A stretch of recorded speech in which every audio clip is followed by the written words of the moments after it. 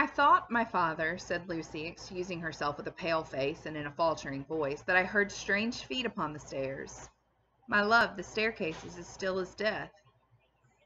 As he said the word, a blow was struck upon the door. Oh, father, father, what can this be? Hide Charles, save him. My child, said the doctor, rising and laying his hand upon her shoulder, I have saved him. What weakness is this, my dear? Let me go to the door. He took the lamp in his hand, crossed the two intervening outer rooms, and opened it. A rude clattering of feet over the floor, and four rough men in red caps, armed with sabers and pistols, entered the room. The citizen Evrémonde called Darnay, said the first. Who seeks him? answered Darnay. I seek him. We seek him. I know you, Evrémonde. I saw you before the tribunal today. You are again the prisoner of the Republic.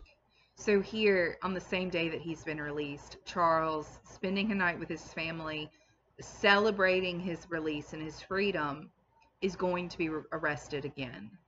Picking up at the four. The four surrounded him, where he stood with his wife and child clinging to him. Tell me how and why am I again a prisoner? It is enough that you return straight to the conciergerie and will know tomorrow. You are summoned for tomorrow.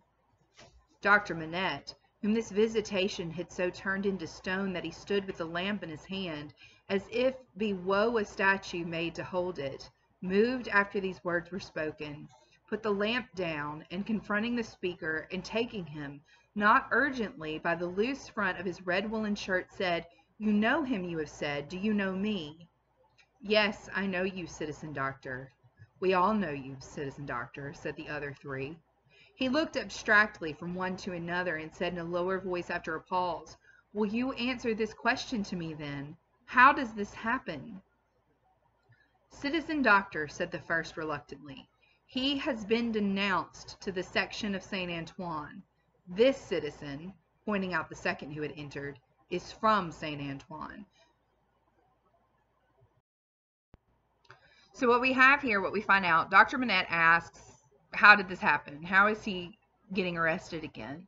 And one of the men says he's been denounced, meaning he has been accused by someone in Saint Antoine, and then he points to one of the guys picking up with the citizen. The citizen here indicated his not indicated nodded his head and added, He is accused by Saint Antoine. Of what? asked the doctor. Citizen doctor, said the first, with his former reluctance, ask no more. If the Republic demands sacrifices from you, without doubt you as a good patriot will be happy to make them.